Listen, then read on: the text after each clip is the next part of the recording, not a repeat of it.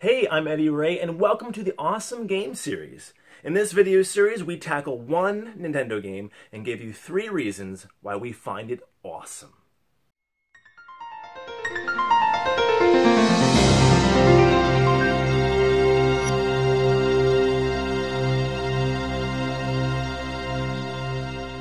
Today's awesome game is Nintendo Land. Reason 1.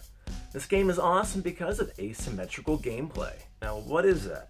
Well, asymmetrical gameplay is where two or more players play the same game together, but experience in totally different ways.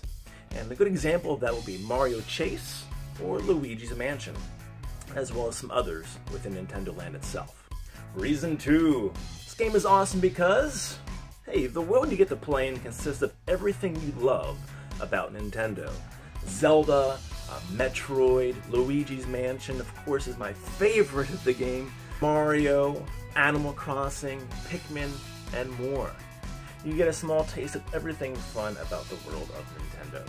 Reason 3. This game is awesome because it's easy to play with friends who may not play games on a regular basis. It's okay. Most of the mini games are straightforward in how to play, and just after a couple minutes, they'll be gaming with you and having fun in no time. It becomes super fun and competitive. Thanks for spending time with me and listening to why I think Nintendo Land is awesome. Make sure you like, share, sub, whatever you want to do, and we'll see you back here again next time.